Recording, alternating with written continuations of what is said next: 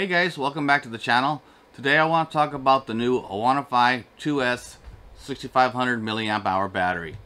For the last seven months now, I've been running a 5000 milliamp hour battery.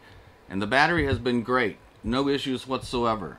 It always balances out. Uh, it always has the exact same charge when I take it off the track. So I was super excited to find out that they had the 6500 milliamp hour battery. Now the battery, this one's also 100C rating, where the 5000 was a 60. So you can get a little more draw, a little more power, and 6500 more runtime.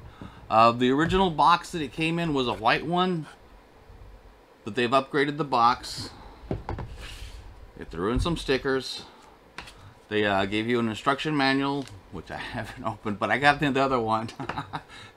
so it has the instruction manual, safety warnings. They also throw this card in. They want to make sure you're happy. If you're not happy with the battery for any reason, they have a number to contact them with on the back.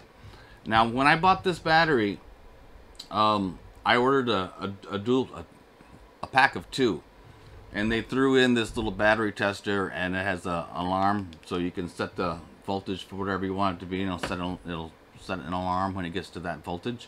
The, the case is held up on the old one. It's a, it's a nice looking case with a carbon fiber on it.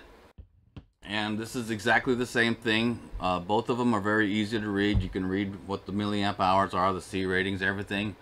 So I'm very excited about getting these batteries. In fact, I did take these batteries to the track this weekend and worked like a charm. They did come with Deans. I put EC5s on them because that's what I run in my Tekno truck. Um, I do run a Tekno short course truck for the 2S batteries with a Gen 2 ESC and HD Pro motor. So, so if you found this video helpful or useful, hit the thumbs up and remember, a bad day at the track is better than any day at work. Catch you guys next time.